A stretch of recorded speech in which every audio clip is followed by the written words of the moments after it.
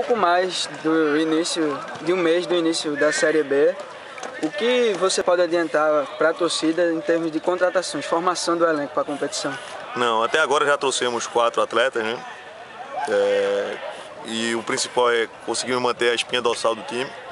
É, perdemos jogadores unicamente que a gente não, não, não, esperava contar no segundo semestre, com exceção do Gilberto, né, que foi negociado, bem negociado, né, a maior negociação dos últimos tempos aí do nosso clube. Então acho que o trabalho é esse, né? realmente é muito difícil manter elenco, é, isso é difícil para time de Série A, quanto mais para um time que está na Série D que fez, uma fez um campeonato tão bom quanto a gente.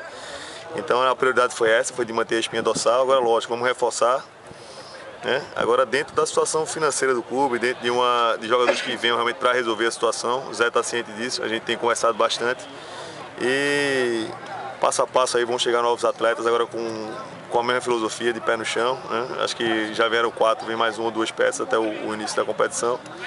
Para que a gente inicie com todo o gás aí, com toda a força né? e, e demonstre a força dentro de campo. Isso é que é importante. E em termos de nomes desses futuros reforços, você pode dizer quem são? por assim dizer? Não, eu não posso não. É, acho que nessa, nessa hora o sigilo faz parte da negociação, tá? A gente. É, o mundo do futebol hoje é tudo muito rápido, é tudo muito conectado, então você está aqui, o jogador está longe, às vezes até por questão de, de atrapalhar a negociação, acontece muito. A gente está interessado no jogador e algum outro clube sabe disso, e aí só para inflacionar, ou só para melar a negociação, aí entra em contato com o atleta mas a gente está vacinado contra isso, então o procedimento nosso de trazer o atleta só após aí a nossa assessoria de imprensa aí, né, faz a, o anúncio para todos vocês da imprensa.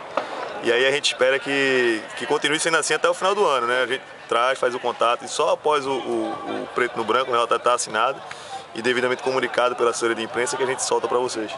Agora, em termos de interesse aos jogadores do esporte, Dutra e Tadeu, qual a verdade? Não, não tem verdade nenhuma quanto a isso, né? São jogadores de outra realidade financeira.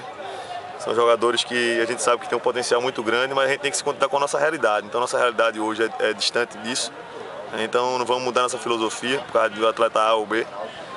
Acho que a gente tem buscado isso aí com muita criatividade, buscar novos jogadores, é, pesquisar, procurar atletas que venham com compromisso. Né? Então, o trabalho está sendo feito e vão vir nomes aí que podem até não ser tão conhecidos, mas que vêm para agradar e, e, vão ser muito úteis no esquema do Zé Teodoro.